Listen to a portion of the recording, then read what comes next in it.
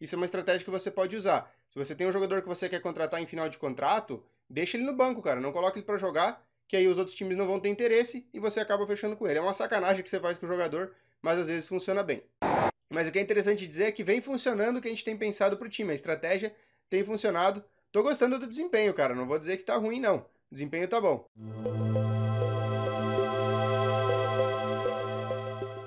Fala aí, galera, beleza? Eu sou Alex e sejam bem-vindos a mais um vídeo aqui no canal. No vídeo de hoje vamos dar sequência à nossa série com o FC Cascavel. Episódio, se eu não perdi as contas, episódio 38 já da série.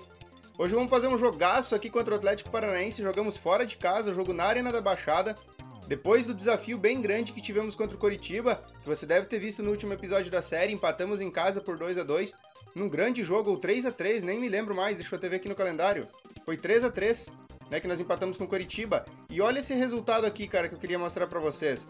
Eu me arrependi muito de não ter gravado esse jogo com Londrina, foi um jogaço, um jogaço.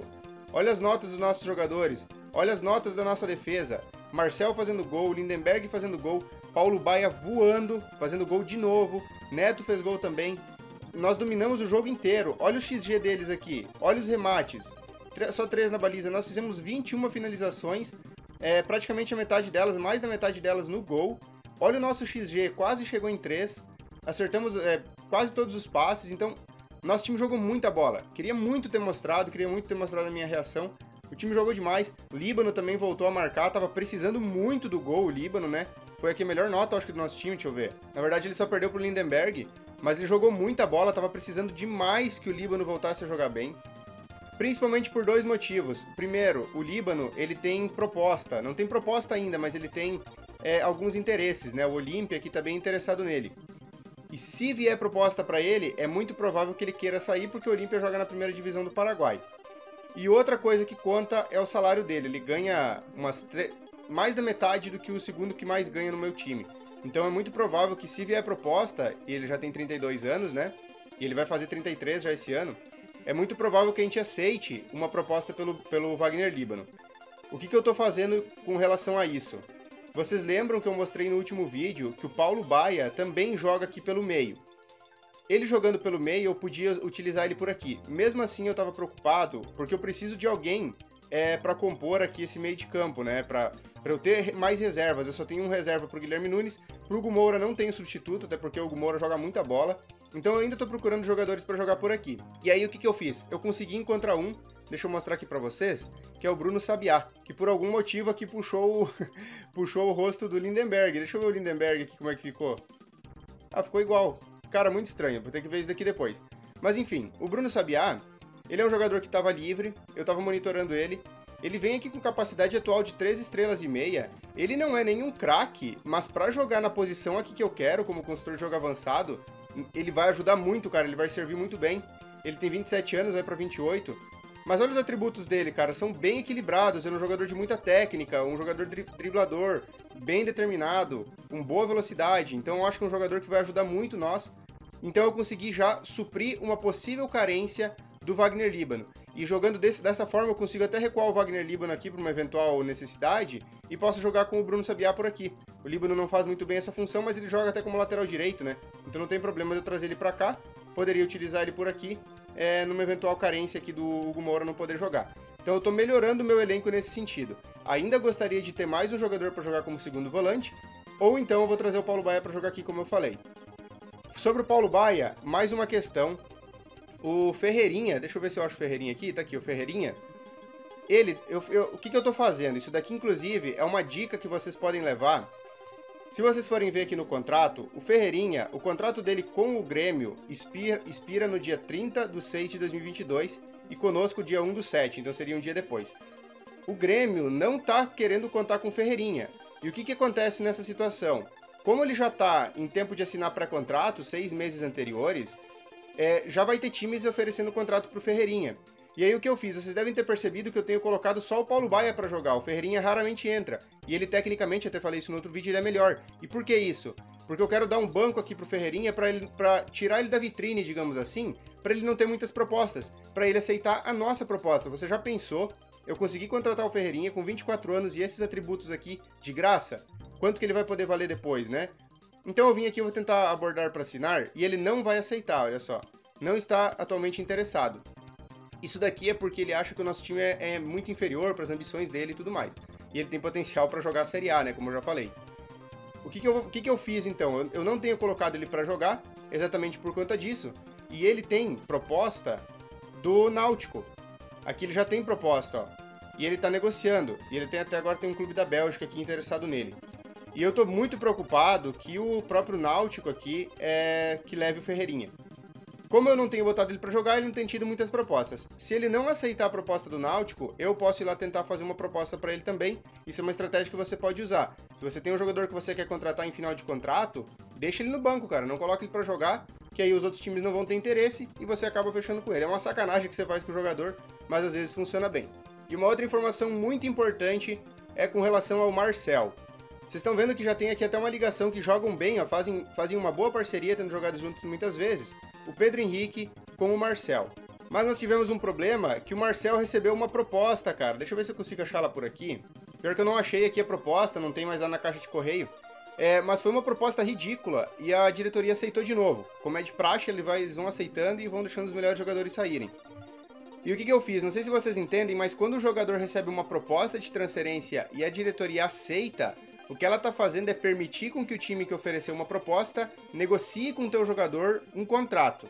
É isso que ela está fazendo. Ela está deixando que o time ofereça um contrato para o Marcel. É, e aí o que, que eu fiz? Eu fui lá e falei eu mesmo com o Marcel e eu vi que ele aceitou negociar. E eu negociei e ofereci um contrato bem maior do que ele recebia. Ele recebia, se eu não me engano, uns 30 mil, então mais do que dobrei o salário dele. E fiquei aguardando para ver se ele ia aceitar. E ele aceitou, cara. Ele renovou até 30 de 6 de 2025. Ele é o segundo maior salário do nosso, do nosso elenco, mas eu acho que ele vale esse salário. Ele tem uma personalidade muito boa, ele é muito determinado, ele vem evoluindo, nos treinos é quase sempre nota maior que 9. Então vale muito a pena a gente manter ele e ele seria, ele é o nosso único zagueiro do Cascavel mesmo, o resto são todos por empréstimo. Então acho que valeu muito a pena a gente conseguir manter ele. É uma boa notícia aí pro nosso time. E depois do massacre que foi contra o Londrina em casa, e depois do massacre que foi contra o Marechal também em casa, foi 10 a 0 esse jogo aqui eu acabei nem mostrando, mas cara, aqui foi todo o time reserva. Os titulares, inclusive, eu nem levei pro banco, pra, pra, porque eu, não, eu queria dar descanso mesmo 100%. E olha só o, o, desempenho do nosso time reserva. Esse Rafinha aqui era um jogador que estava por período de experiência, ele está ainda por período de experiência, mas eu não sei se eu vou manter, provavelmente não. Trouxe alguns por período de experiência e eles jogaram muito bem. O Bruno Sabiá jogou bem, o Henrique Santos jogou bem, o Renan jogou demais, Fizemos 10 a 0 no Marechal, mais de 5 aqui o nosso XG, 38 remates, então foi contra um time bem inferior, é verdade, mas foi com todo o time reserva e eu utilizei esse amistoso para rodar o elenco. E o próximo jogo é contra o Atlético Paranaense. Eu achei que teríamos um desafio bem maior contra o Londrina, conseguimos massacrar eles. Vamos ver se a gente consegue oferecer alguma resistência para o Atlético, que é um timaço, cara. Deixa eu vir aqui pro relatório deles, no relatório da equipe, pontos fortes e pontos fracos. Se você for ver, eles quase não têm ponto fraco. Eles são um pouquinho mal fisicamente e tudo mais, de questão de velocidade, agilidade, eles não são muito bons. Mas eles são um time muito técnico, né? Muito, um mental muito forte, são um time tecnicamente superior.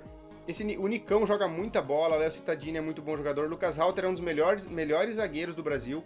Se você joga em times da Série A, cara, o Lucas Halter provavelmente vai estar por um preço não muito alto no começo, Cara, joga muita bola, evolui demais, demais, demais. Lucas Halter, um belíssimo jogador. Abner Vinícius, muito bom lateral também. Apenas 21 anos, também evolui muito. Mesma coisa pro Kelvin. O Kelvin eu não conheço tão bem assim quanto o Abner Vinícius e o Lucas Halter, porque eu já joguei um save uma vez com o Atlético Paranaense. Eu ganhei Libertadores dois anos seguidos, ganhei Brasileirão. Eles têm um timaço, cara. É um time muito bom. É muito difícil a gente conseguir segurar eles se eles forem com o time titular. E o que, eu estou pensando em fazer? Se você vier nas instruções sobre o adversário, eles jogam com cinco atacantes. Pelo menos nessa formação aqui. Na verdade, isso aqui são dois meias ofensivos, mas são bem ofensivos. Matheus Anjos joga quase pisando na área. Eu vou dar uma analisada aqui e eu falo para vocês o que eu estou pensando em fazer. E o que eu vou fazer aqui é o seguinte, pessoal.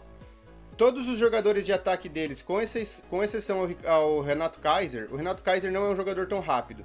Os outros são todos jogadores muito rápidos e que não são tão finalizadores, ou quer dizer, eles não têm jogadores de área, centroavantes mesmo. E aí o que eu vou fazer, como eles são todos jogadores bons tecnicamente e, muito rápidos, eu vou colocar desarme duro para todos eles. Uma coisa importante, primeira coisa, você clica aqui no primeiro, Ctrl A, seleciona tudo e muda aqui, ó, para ficar para posição, para que se vier outro jogador aqui a substituir eles, a, a instrução aqui se mantenha, tá? Porque eu tô mais pensando na formação deles para montar essas minhas instruções.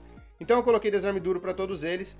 Vocês estão vendo que eles vão congestionar o meio campo. O que, que eu pensei de fazer? O Carlos Eduardo, como ele joga pelo lado direito, eu coloquei para levar pro pé direito. O Renato Kaiser joga pelo lado esquerdo, levar pro pé esquerdo, porque eu não quero que eles, que eles consigam é, encher de gente na minha área. Isso igual, mesmo assim vai ser um problema, porque esses dois jogadores com certeza vão entrar muito. Eu tô bem preocupado com isso. Mesmo assim, o Kelvin eu coloquei para levar pro pé direito, o Abner Vinícius eu coloquei para levar pro pé esquerdo. A princípio eu tinha pensado de fazer eles trazerem pro meio, para que eles não possam levar e cruzar, porque tem gente, muita gente na área. Depois eu verifiquei que eles não são bons, bons finalizadores, não são bons cabeceadores. Então o que eu vou fazer é pedir para eles levarem para o fundo, exatamente para eu não, não ter tanta gente no meio. Eu vou tentar fazer com que eles abram. Entende que eu estou pedindo para o Carlos Eduardo abrir, o Renato Kaiser abrir, esses jogadores jogarem pelas alas, porque eu não quero que eles consigam tabelar aqui pelo meio de campo. E uma outra coisa que eu vou fazer aqui nas táticas, eu vou vir aqui em sem a posse da bola e eu vou mexer na minha largura defensiva para que os jogadores deles tenham que abrir. Eu não quero que eles consigam trabalhar muito a bola aqui pelo meio de campo. Mais ou menos é essa aí a minha ideia de jogo, tá? Então vou deixar a, a para que eles forcem para jogar pelos flancos. Na verdade, agora eu vou deixar assim porque eu estou mexendo na minha tática principal. Quando chegar lá na hora do jogo, é isso daqui que eu vou fazer. Eu vou fazer com que eles com que forcem as jogadas para que saiam pelas alas. E aí seriam só essas. Essas aqui são as instruções que eu vou utilizar para ver se a gente consegue alguma coisa aí contra o Atlético Paranaense. E outra coisa importante é com relação ao calendário, né? Se vocês forem ver, o Manaus aqui pela Copa do Brasil é dois dias depois do jogo do Atlético. Então é muito provável que eu vá poupar vários jogadores, porque o Atlético Paranaense não é tão importante assim quanto o Manaus para nós. Copa do Brasil é muito mais importante do que o do Paranaense, principalmente nessa fase de grupos. Eu só preciso ficar entre os quatro do Paranaense para ir para a Copa do Brasil. Então vamos lá para mais um grande desafio no Campeonato Paranaense, fora de casa contra o Atlético. Pessoal, acabei modificando bastante o meu time. Só para mostrar para vocês aqui em sem a bola, eu coloquei desarme agressivo e fiz para eles forçarem para as alas. Eu tô bem preocupado com a parte física dos meus jogadores para o jogo da Copa do Brasil. É jogo único, não dá para brincar. Único titular dentre esses aqui que eu coloquei para sair jogando é o Wesley. E por quê? Eu quero ter o Bruno Turco como pivô defensivo, que é o nosso único jogador que joga como meio campo aqui de reserva. E o Wesley ele joga como volante. Vou manter ele, coloquei o Léo Moura. Talvez depois eu modifique o time para que o, Wesley possa descansar um pouco, coloque o Henrique Santos no segundo tempo, dá para pensar nisso. E aí vamos ter algumas estreias pelo, pelo time principal, né, que é o Natan, que é o Bruno Sabiá, que é o Juan. Todos os três aqui estão com a face do, do Lindenberg, eu não sei porquê, cara, depois eu vou ter que arrumar isso daqui.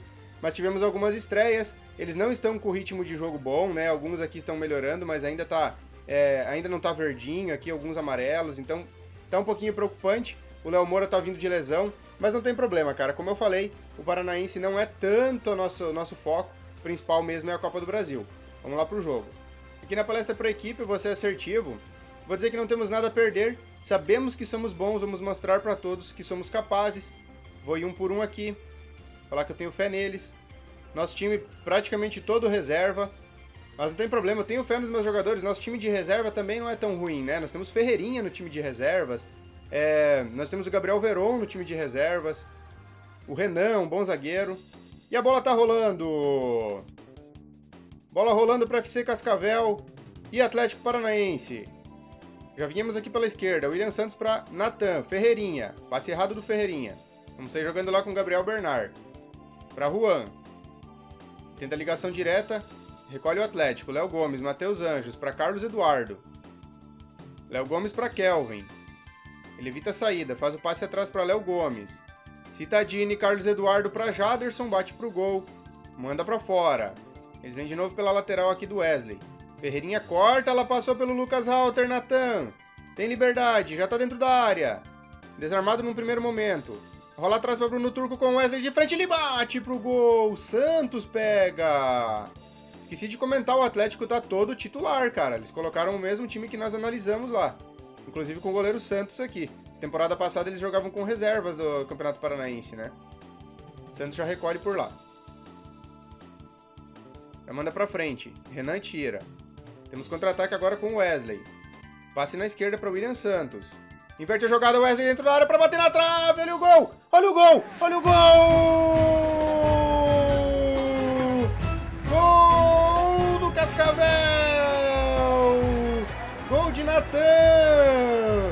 A jogada do Wesley. Como tá jogando bem o Wesley nesses primeiros 20 minutos. Recebeu um passe sensacional do William Santos, finalizou na trave e o Natan empurra pro gol! Ele já tinha feito um gol no amistoso, agora faz o gol em jogo oficial. Natan! Cara, que legal a, a partida que tá fazendo o Wesley. Jogando na posição do, do Hugo Moura, ele vai aparecendo como o Hugo Moura faz também. Olha o, o Juan de cabeça, manda para fora. É, esse segundo volante com a função de atacar, ele pisa muito na área, eu sempre falo para vocês. Partidaça até agora do Wesley. 44 minutos, estamos caminhando para o final do primeiro tempo. Conseguimos anular bem as, as ações de ataque deles. Só porque eu falei agora é capaz de eles fazerem o gol, né? Mas mesmo assim, nosso time vem marcando bem. O ataque deles não conseguiu criar tantas chances. Vem o Abner Vinícius, agora invade a área, cruzamento e o gol do Carlos Eduardo. Eu e a minha boca, né, cara? O que, que eu fui falar? A jogada vindo pela esquerda. Eu falei que o Abner Vinícius é muito bom jogador. É, a gente está tentando forçar para que eles joguem pelas laterais. Essa que o Abner Vinícius conseguiu ganhar. Cruzamento para o Carlos Eduardo. E o gol do Atlético Paranaense. Cara, você vê como que é incrível. Eu acabei de falar que eles praticamente não tiveram chance. E realmente as notas dos jogadores deles de frente, agora o Carlos Eduardo porque fez o gol. Mas elas estavam bem ruins, bem abaixo. Eles não tinham criado grandes chances, né? Eles tiveram cinco finalizações.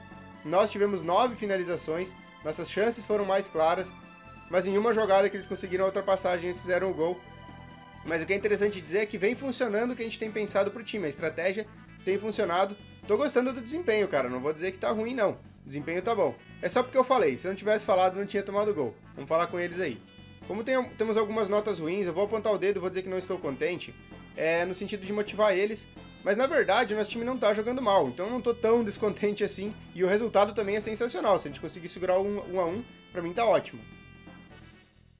Fiz algumas trocas também, a bola já tá rolando agora pro segundo tempo.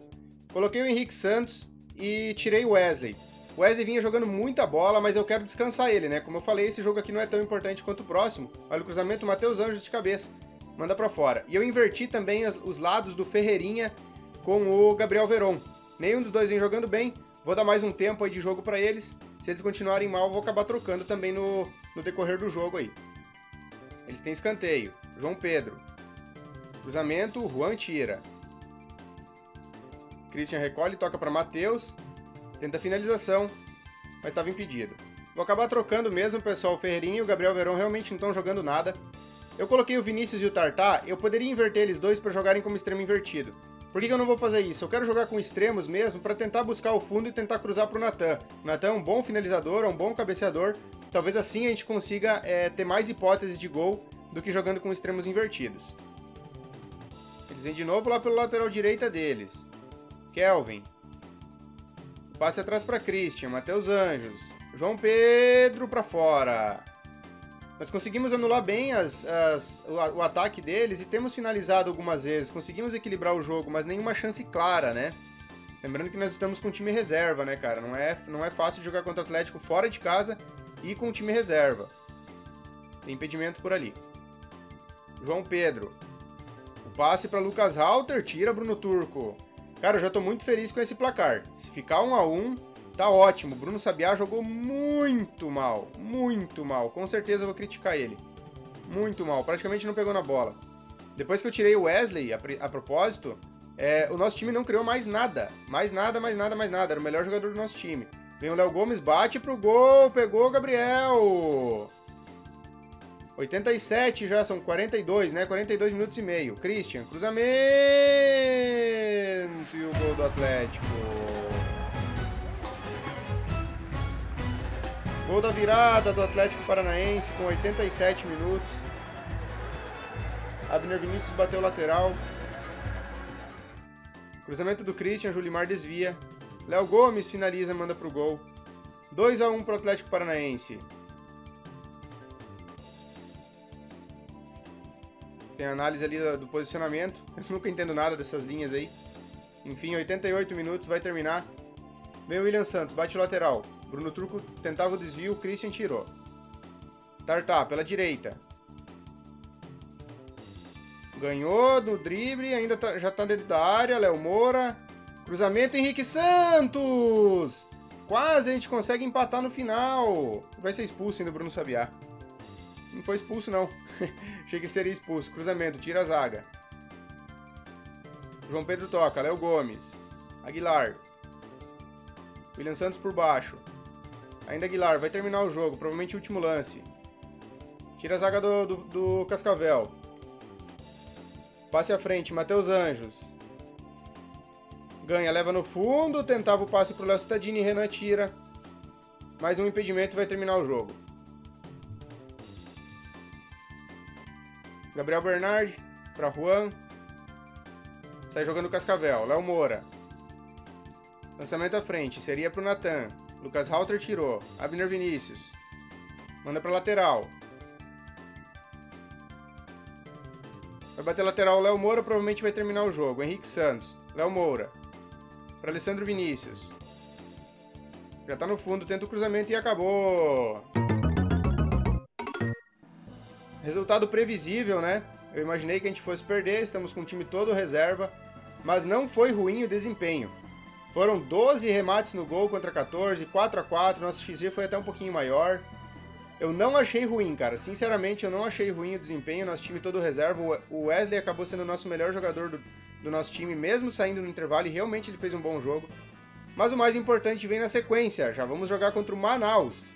Mas nós vamos ter que estudar muito bem o time do Manaus. Eles jogam a Série C, assim como nós também jogamos. A reputação deles é maior e isso aqui influencia diretamente no jogo. Porque nós jogamos em casa e é eliminatória única, é jogo único.